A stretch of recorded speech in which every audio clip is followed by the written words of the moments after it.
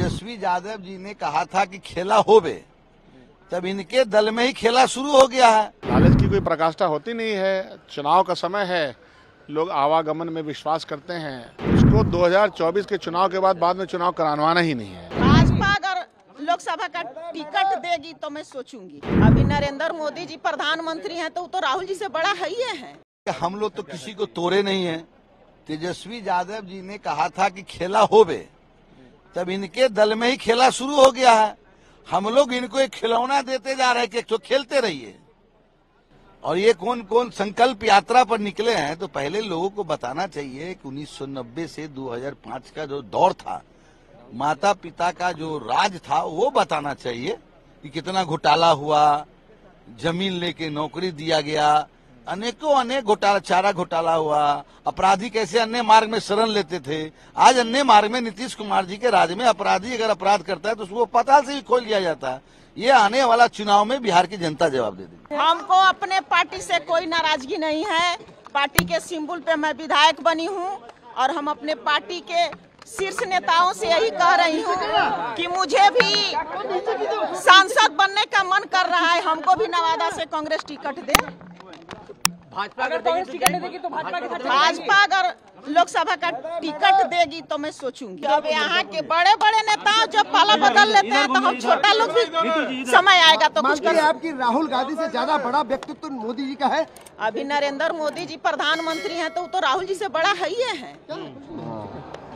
इसमें कहने की क्या बात है? टिकट की मांग कर रही है किसी बातचीत हुई है आपकी? किसी से हमको बातचीत नहीं हुई है। मीडिया के माध्यम से मैं यही कह रही हूँ कि हमारा जिला हमेशा बाहरी सांसद बना है।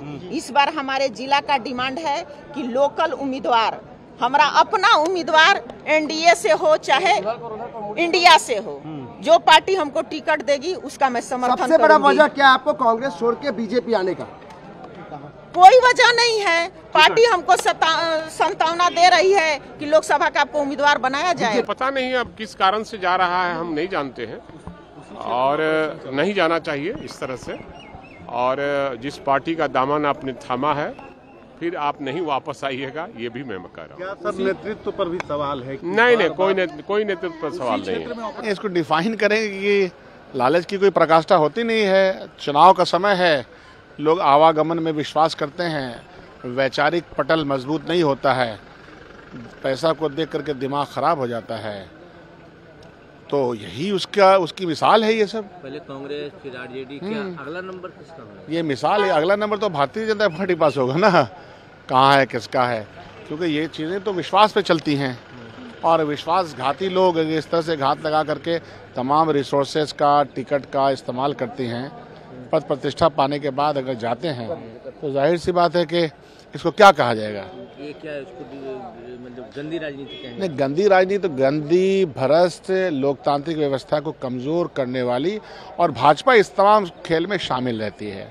उसको कोई मतलब नहीं है कि देश में लोकतांत्रिक व्यवस्था बनी रहे। नहीं कर सकते हैं क्या कि भाजपा आने वाले दिनों में जीडीयू को भी तोड़ सकती है? हाँ? जीडीयू को भी तोड़ सकती है? अरे वो कुछ भी कर सकती है। उसको 2024 के चुनाव के बाद बाद में चुनाव करानवाना ही नहीं है। तो वो जिस लिहाज से आगे बढ़ रही है तो वो तो खतरा मंडला रहा है। हमारे एक जो पूरी डेमोक्रेटिक प्रोसेस है इस देश में, पक्ष है, विपक्ष है, आवाज़ है, जनता की आवाज़ है, सबको सुला देना चाहती है वो। इसका खमियाजा देश की जनता को ही भुगतना पड़ रहा है ना। कल को कोई विपक्ष, कोई आवाज़ नहीं रहेगी।